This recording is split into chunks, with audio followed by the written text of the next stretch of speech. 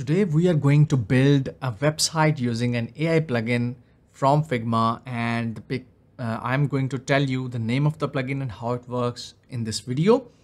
There is a lot of buzz around AI and it will replace designers, web designers. We are, I am testing out different services that provide web design, user experience design, UI design.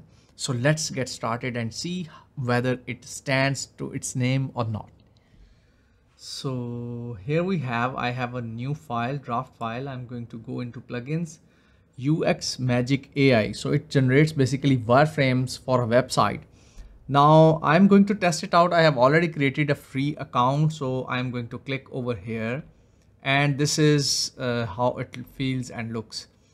So it says I can write 500 letters and just like this, uh, for example, number of pages. Let's say I want to create two pages.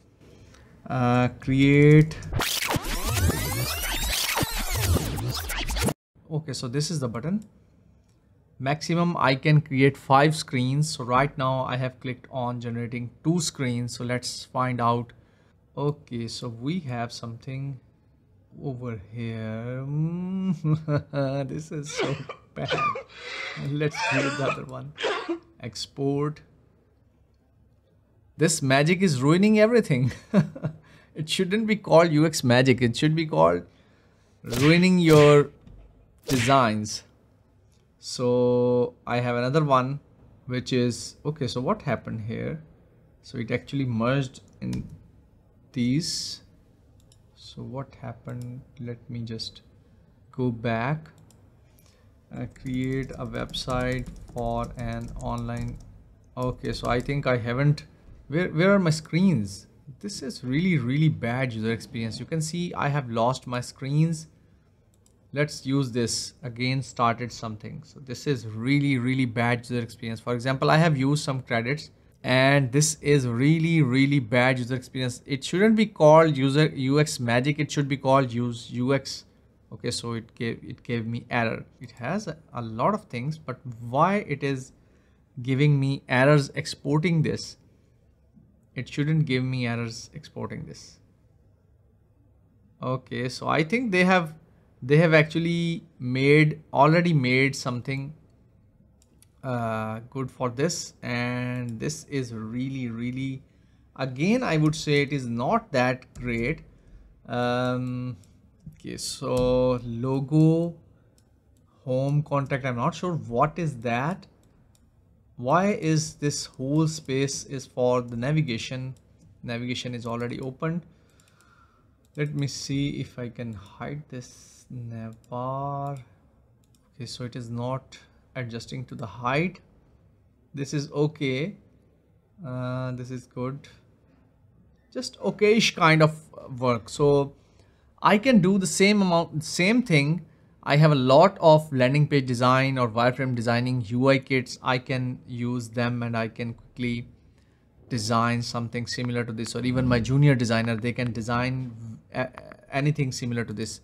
The design uh, before uh, it actually tried to design something for me which was my website.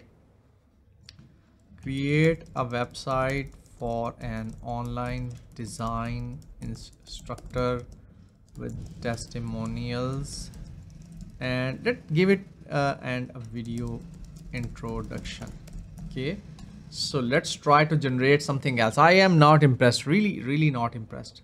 It must be something uh, unique and it should have uh, something you know let's remove remove this or let's keep it over here and create a new frame over here and select it and export like this.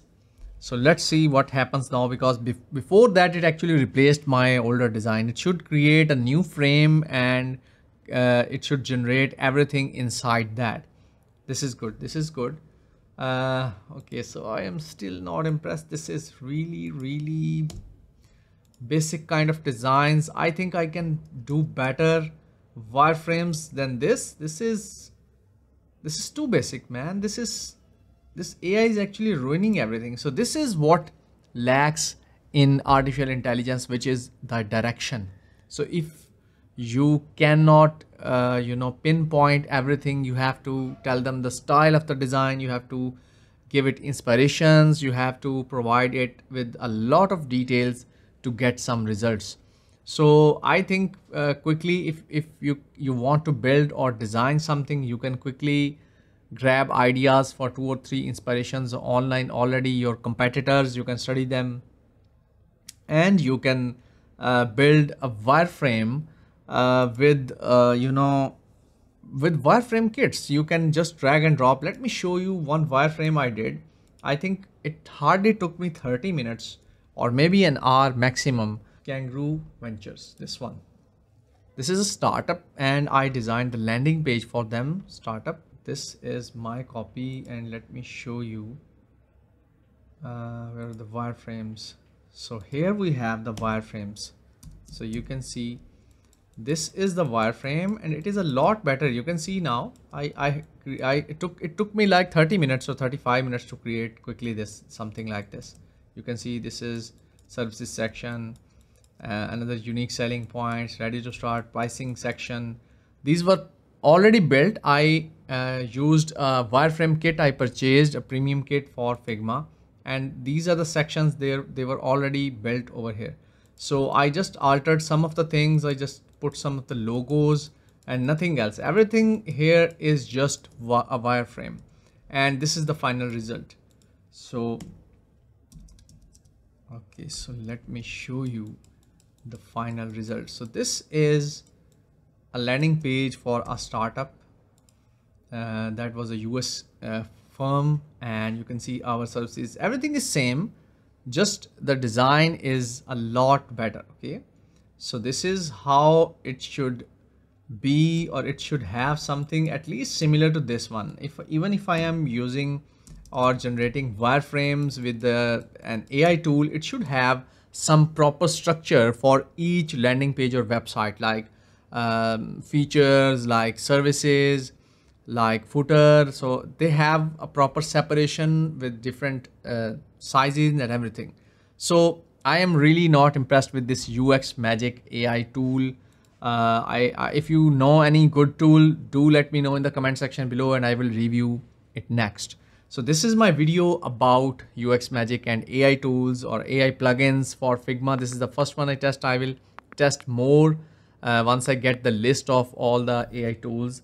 Uh, we'll meet you soon in another video. I am Muhammad Ahsan. I am a CEO of Pro Design Tech. This is a design I own and design agency. We have a small team and we design and build websites, SaaS apps, uh, all that, all that UX and UI design thing, UX research, usability testing, and a lot of things.